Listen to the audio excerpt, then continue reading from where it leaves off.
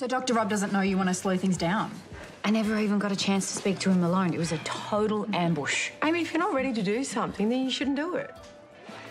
But Amy is getting a house out of it. Seems like a pretty sweet deal to me. Oh, great. Let's just be exploited then. I wouldn't call it being exploited. Yeah, snap. Okay, what, what I'm trying to say is we shouldn't be letting men's desires dictate what we want to do unless we want to do it. It's kind of like you and your lingerie cleaning. Well, that was about keeping the debt collectors at bay. Okay, but say that a client came to you, right, with more money and offered to take things further. Seriously, come on.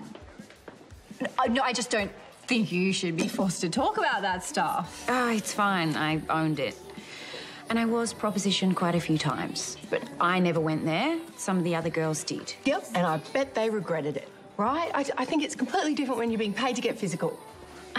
Well, the girls always said that they were comfortable with the choice they were making. Some of them even felt empowered by it.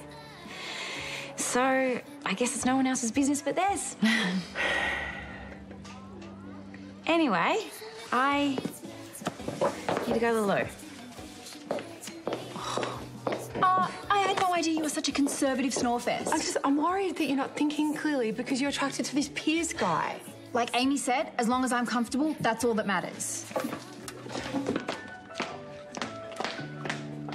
So,